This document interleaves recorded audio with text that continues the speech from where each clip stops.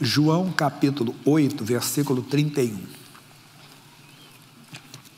João, não é, vamos dizer assim, tudo que eu quero passar, que isso aqui eu dei recentemente. Aqui são três coisas que nós já aprendemos. João, quarto evangelho, você tem Mateus, Marcos, Lucas, João, 8,31. Jesus dizia, pois, aos judeus que criam nele: Se vós permanecerdes na minha palavra, verdadeiramente sereis meus discípulos. Então ele deu três condições ali aos judeus que acreditavam nele para serem discípulos dele. Primeiro, eles deveriam de ouvir. Eles ouviram, mas só ouvir não basta, tem que crer. Crer também não basta, tem que permanecer. E nem todo mundo consegue. Então, ouvir, crer e permanecer para ser um discípulo de Jesus. Você tem que ouvir a palavra, crer na palavra e permanecer na palavra. Deus falou com Josué, Josué capítulo 1. Josué capítulo 1. Josué é o sexto livro do Novo Testamento. Você sabia que a forma hebraica de Josué é a mesma de Jesus? Jeová salva. Então, 1, 7. Josué capítulo 1, versículo 7. Tão somente esforça-te e tem muito bom ânimo. Para quê? Para teres o cuidado de fazer conforme toda a lei que meu servo Moisés te ordenou dela não te desvie nem para a direita, nem para a esquerda, para que prudentemente conduzas por onde quer que andares. Nós temos que prestar atenção no que Deus diz, para não sairmos nem para a direita, nem para a esquerda. Um caso aqui está do lado de Josué, é o livro de Juízes, capítulo 6. Uma história triste, que depois foi mudada, é claro, mas no começo foi triste. E a história de, daqui dos israelitas pode ser a história de muita gente, que há muito tempo está passando por uma luta. Diz assim: Porém, os filhos de Israel fizeram o que parecia mal aos olhos do Senhor. O que, que eles fizeram? E o Senhor o deu, os deu, o deu na, o Senhor os deu na mão dos medianos por sete anos. Aqui temos que explicar que é que Deus permitiu. E às vezes Deus permite. Você fica na mão do inimigo o tempo. Pastor Jaime, eu sou de Deus. Mas eu não consigo ser curado da pressão alta, da diabetes. Eu sou de Deus, mas não consigo ser curado da depressão. Eu sou de Deus, mas não consigo prosperar. Não sei, é uma amarração. Ou eu sou de Deus, mas não me realizo na vida sentimental e outras áreas mais, poderíamos dizer. Bem, vamos ver aqui. E prevalecendo a mão dos midianitas sobre Israel, fizeram os filhos de Israel para si, por causa dos midianitas, as covas que estão nos montes, e as cavernas e as fortificações. É um grande erro do homem, tentar resolver tudo do jeito dele. Jesus foi claro: sem mim, nada podereis fazer. É João 15, 5. E às vezes nós tentamos, marcamos jejum, marcamos é, é, campanha no monte, numa porção de lugar, mas Deus mandou você fazer isso? Ou é coisa da sua cabeça? Às vezes a pessoa está fazendo, pastor, estou me esforçando, mas não está, está fazendo caverna, fazendo fortificação, fazendo uma porção de coisa, mas foi direção de Deus ou foi da sua cabeça? Isso é, mas espera aí, pastor Jaime, eu estou jejuando, mas Deus mandou você jejuar? Foi uma direção que Ele deu para você? Tem gente que, é, que quer comprar a benção, fica fazendo voto, voto, voto, como se Deus fosse um mercenário, né? Quer comprar o Senhor. Que é isso? Você tem que ouvir a palavra de Deus, prestar atenção no que Deus diz. E diz assim: Porque sucedia que, semeando Israel, subiam os midianitas e os amalequitas e também os do Oriente contra eles subiam.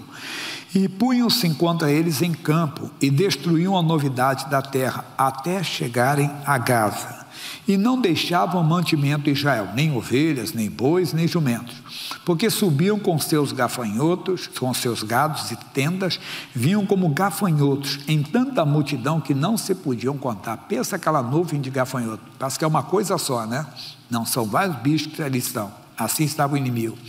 Nem a eles, nem a seus camelos, e entravam na terra para destruir. Mas é verdade, a missão do inimigo é matar, roubar e destruir. E diz assim: Mas Assim empobreceu, é, assim Israel empobreceu muito pela presença dos midianitas. Meu irmão, o inimigo na, na vida de uma pessoa empobrece a pessoa, alguns financeiramente, mas alguns espiritualmente. Às vezes entra um demônio da vaidade na pessoa, do orgulho, que ele se sente o dono do pedaço, o mais inteligente, já não ouve mais a Deus. Na segunda parte, nós vamos falar sobre isso, as pessoas que não corresponderam os benefícios que foram feitos pelo Senhor na vida dela. Não são poucas, não. Pessoas que acabam, entenda, de, deixando a palavra, se desviando completamente. Isso é coisa séria. Então, nós estamos vendo aqui que a presença do inimigo empobrece.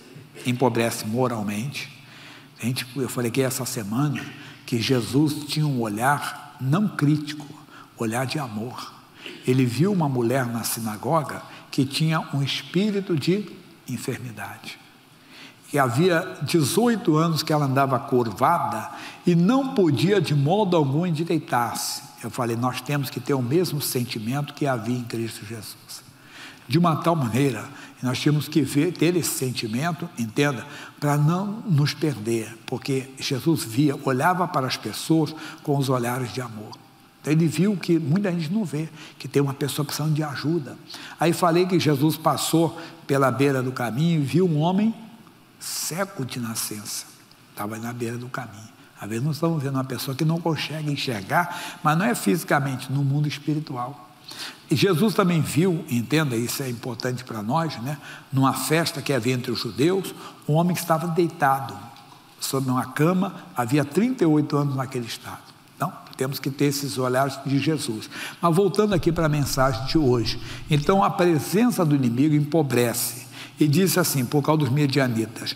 E, e sucedeu, é, não, perdão. Então, os filhos, versículo 6 ainda. Então, os filhos de Israel clamaram ao Senhor. E sucedeu que, clamando os filhos de Israel ao Senhor, por causa dos medianitas, é sério isso aqui eles não clamaram porque queriam comunhão, eles clamaram por causa da presença do inimigo. E diz: enviou o Senhor um profeta aos filhos de Israel. Nós esperávamos um socorro diferente. Eu gosto muito, mas como eu gosto dessa mensagem do Salmo 107, ele vai colocar ali, eu leio para vocês. Salmo 107, versículos 19 e 20, por favor. Ele diz assim, 107, 19, 20. Então clamaram ao Senhor na sua angústia, e ele os livrou das suas necessidades. Como? 20. Enviou a sua palavra e os sarou e os livrou da sua destruição. É uma palavra que vem, que às vezes fere, às vezes ela vem como um remédio, que vem realmente para nos curar, mas às vezes é amarga, mas é remédio, é dado por Deus. É um remédio. Nós temos que entender quando a palavra de Deus fala conosco. Quando a palavra fala, nós não devemos, de maneira alguma, entenda bem, perder a paz. Enviou um, o Senhor um profeta aos filhos de Israel que lhes disse: Assim diz o Senhor, Deus de Israel: Do Egito eu vos fiz subir, e vos tirei da casa da servidão e vos livrei da mão dos egípcios e da mão de todos quanto vos oprimiam, e os expeli de diante de vós. E a vós dei a sua terra, e vos disse: Eu sou o Senhor vosso Deus. Vamos lá? Não temais aos deuses dos amorreus, em cuja terra habitais, mas não destes ouvidos à minha voz. Ou seja, vocês não permaneceram no que eu falei para vocês. Somos nós. Não temas, porque eu sou contigo. Mas nós estamos com medo que o coronavírus entre no nosso corpo. Claro, tem que ter prevenção, cuidado, mas medo não. Temos medo que um trabalho de macumba pegue em nós. Parece cômico, mas ainda tem, muita gente. Tem gente, se souber, eu falei essa semana, que, por exemplo, um pregador, né? Tem que olhar para as pessoas com de amor. E eu disse que eu passo, mas imagino que eu passo ali na Praça da República e um rapaz travestido diz, Pastor Jaime, minha mãe gosta muito de você, vamos tirar uma foto?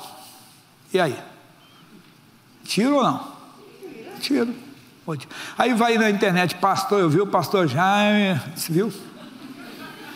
Tirei sim. Tirei uma foto, sou pregador, sou homem público.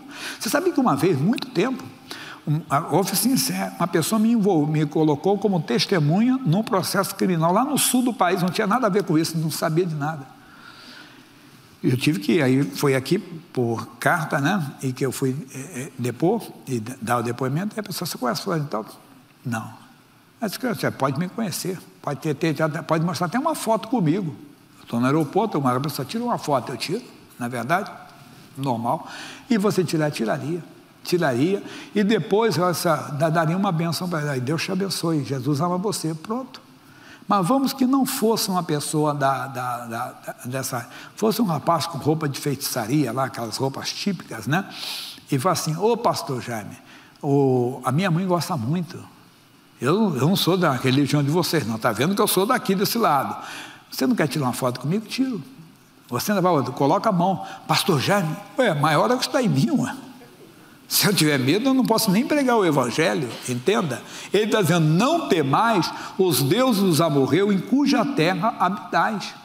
Como aqui a Igreja da Graça, vocês já aprenderam tanto conosco em Jó capítulo 3, versículo 25. Jó é antes do livro de Salmos. Jó era um homem cheio de qualidades, um homem temente a Deus, um homem de Deus realmente. Mas esse homem perdeu tudo na vida: perdeu bens, perdeu família, perdeu, entenda bem, é, saúde. E o Jó disse aqui, Jó capítulo 3, versículo 25: Porque o que eu temia me veio, e o que eu receava me aconteceu. Irmão, o medo é uma porta aberta para o diabo entrar. Pastor Jaime, é o medo? Eu vou ampliar esse, esse entendimento. Não o medo, o que? O que mais é, é desprezar. Não é o medo, é desprezar a palavra. Porque o mesmo Deus que diz: não adulterarás, não matarás, ele está dizendo: não temas. Mas aí nós não aceitamos. Achamos que, claro, não devemos adulterar, pelo amor de Deus, é pecado para a morte. Não matarás, muito menos, entenda bem, nenhum nem outro, dois são de morte. Mas também não devemos, entenda bem, temer o inimigo. Nós temos que permanecer na palavra. Vamos lá? no João 8,31. 8,31. Está dizendo para nós aqui. E Jesus dizia, pois, aos judeus que criam nele: Se vós permanecerdes na minha palavra, verdadeiramente serei meus discípulos. Irmão, você tem que permanecer na palavra.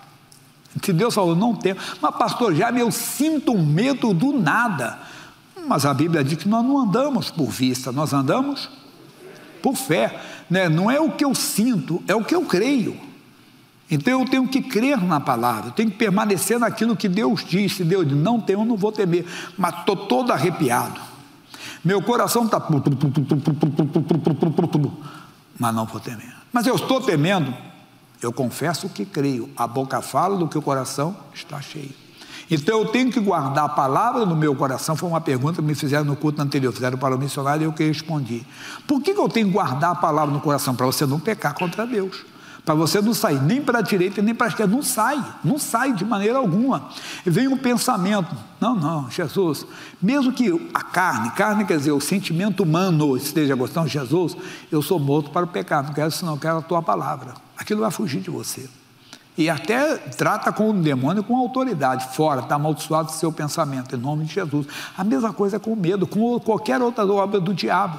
Nós temos que aprender. Então, vamos repetir as três coisas. Né? Jesus dizia, pois, aos judeus que criam nele: Se vós permanecesse nas minhas palavras, verdadeiramente serei meus discípulos. E conhecereis a verdade, e a verdade vos libertará. Quem é a verdade? João 14, 6. Disse-lhe Jesus: Eu sou o caminho e a verdade e a vida. Ninguém vê ao Pai senão por mim. Ele é o caminho, a verdade e a vida é Ele, é nele que temos que permanecer. Então nós vamos conhecer Jesus. Talvez não conhecemos. Eu dou um exemplo aqui para vocês sempre. Eu falo aqui de um primo. Olha, eu tenho um primo, o rapaz é bom de bola, ou é um bom um bom cozinheiro, vamos falar assim, uma cozinha que é uma beleza. E o nome dele é fulano de. Aí um dia alguém está assim, cita o nome dele. Você, você conhece? É, eu já ouvi falar, mas você não conhece ainda. A maioria das pessoas ouviram falar de Jesus. Não consegue conhecer Jesus. Por quê? Para conhecer Jesus, você tem que ouvir, crer e permanecer.